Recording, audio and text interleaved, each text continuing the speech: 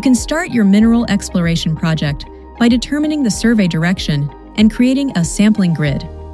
If you have decided that soil sampling will work for your project, determine the survey grid according to mapping and ore forming dynamics. To establish the ore forming concept, you will need to compare the existing data with the results of literature reviews. At this point, it is crucial that the relevant deposit experience and field studies are conducted correctly.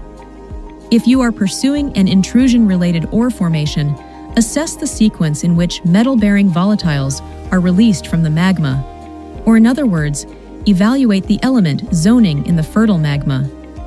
Group the rock samples based on the lithology from which you took them. Record the details on the sample form, and if necessary, conduct your microscopy and XRD studies to categorize the mineralization and alteration into phases. The information you obtain about the origin of the mineralization and the assumptions you make while interpreting this data are of significant importance.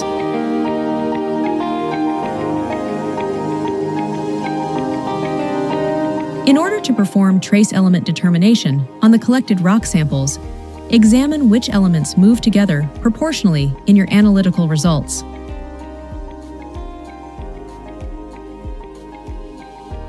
Color each element in the table according to its values in its respective column, and apply a top cut to the peak values, if necessary.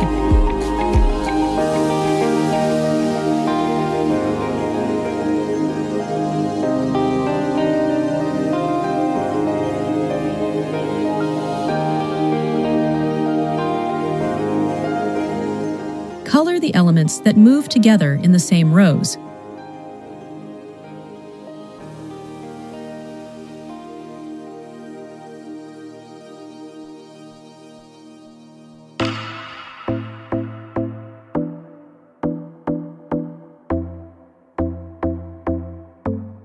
Keep the Goldschmidt classification for lithophilic, siderophilic, and chalcophilic groups in mind and interpret the origin along with the elements you have related to the mineralization.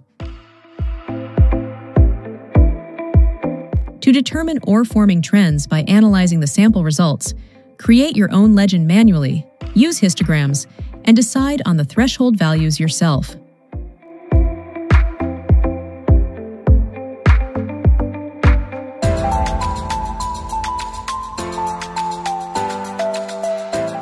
Generally, remove samples that go beyond the overflow limits, forming unexpected peak values in soil sampling.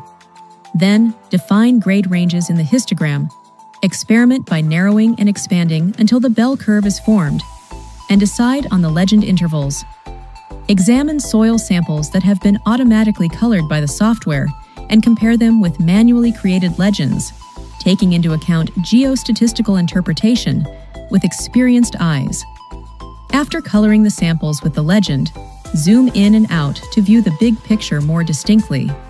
The trend shown by the purple line has been determined with the legend automatically set by the software when no upper threshold value was given. The trend shown by the green line has been drawn according to the manually created legend.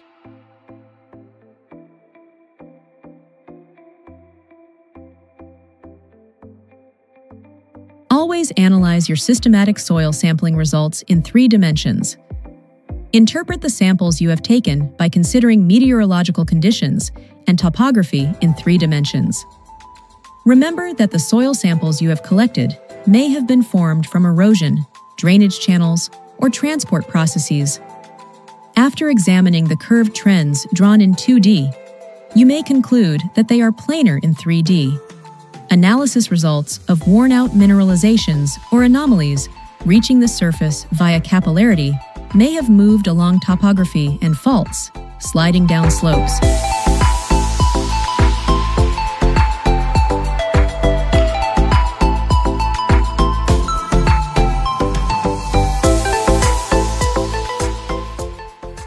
The concept of capillarity is quite important in soil sampling Capillarity can be explained as the upward movement of water through the capillary spaces in ground rocks and soil that have permeable pores.